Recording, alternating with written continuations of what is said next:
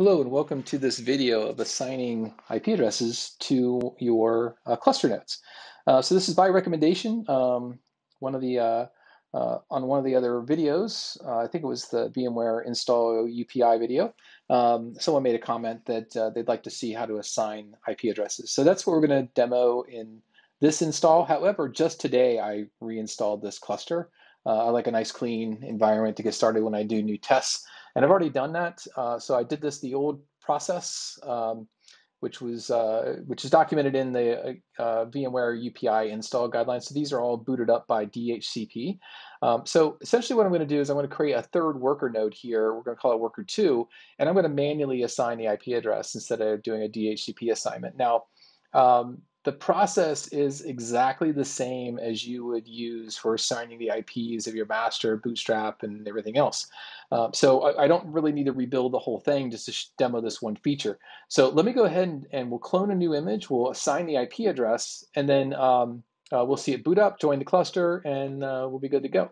Okay, so first things first, make sure the, the node that you're adding is in DNS, uh, which is the same requirement for DHCP. So I need to make sure uh, worker 2 is in DNS. I've already done that. We can just you know ping uh, worker 2. You see the IP address there. It's, it's not active.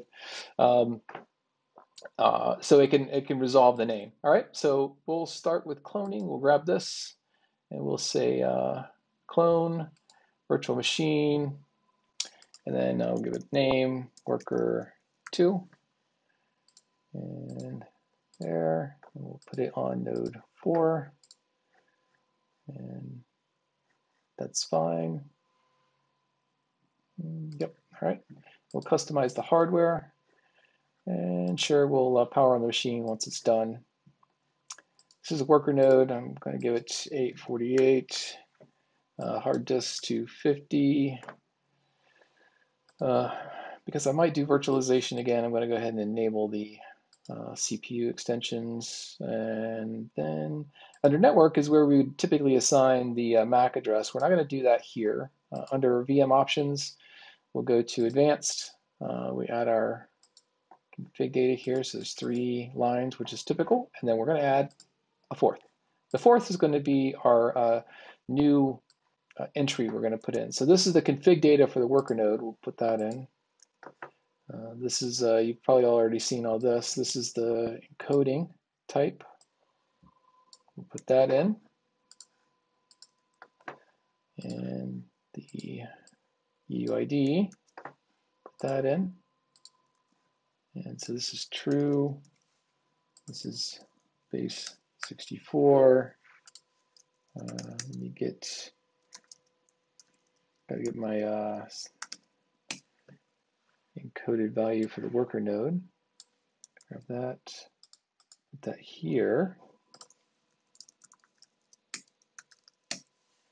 All right, and then uh, this value, this is one we're going to use to set our IP address. If we go back to the documentation, I'll put a link to this in the description below. You'll see an example here about how to set the static IP address. And they say to export this and then do this or this here, here's an example and do you don't have to do any of that. So just grab this value here, which is guest info, afterburn, uh, whatever that is, uh, network arguments. So grab that and put that in the other value. And then here we're going to need to create that value that we're going to assign.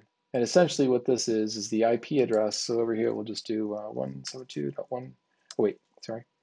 IP equals 172.16.1.22. Uh, there's two colons followed by the gateway, 172.16.1.1. Uh, whoops, one colon followed by the net mask, uh, which is to do, to do uh, what is it? Um, 255.255.255.192. And then uh, host name, so colon and say worker 2 uh, colon uh, interface. You can skip it. It'll take the default interface, which is created, and then none, and then name server. Let me move this page over there so you can see that name server and then whatever the name server value is. So mine's 172.16.1.1. So I'm going to grab this value, copy. Again, that's right here, so it shows you an example, the IP address, uh, two colons, uh, I have two colons, uh, the gateway, netmask. Um, they're not using a host name, so you can skip that value. Um, they're not defining an uh, interface, you can skip that value. They've also added none, and then they put in a name server. It looks like you can have multiple name servers if you need to, so that's good. The uh, I think there's another uh, value. Uh, I'll have to go back and check. I'll, I'll, put a link to it if there's if more information is needed here. All right, so we can grab that, copy that out. We'll put that in here. All right, and okay.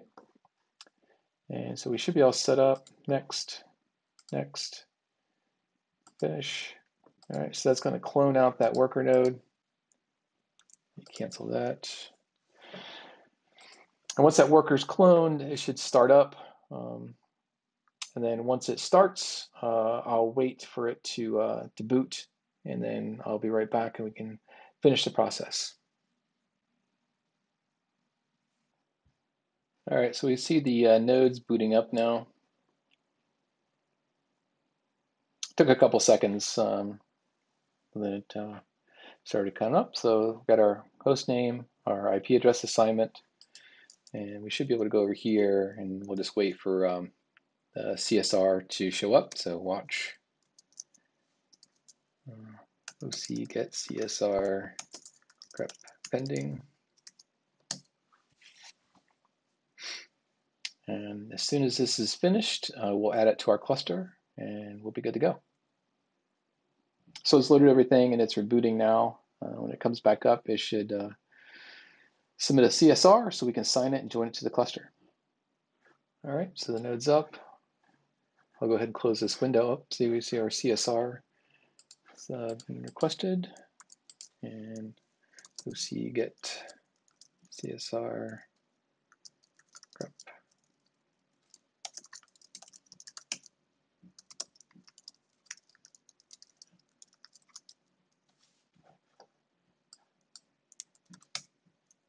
And it'll make one more request.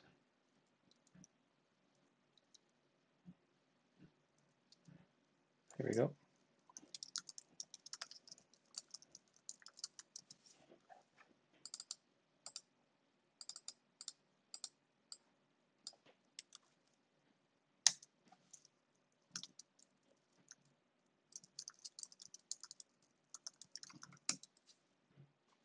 All right, we'll wait for it to join the cluster, which shouldn't take too long.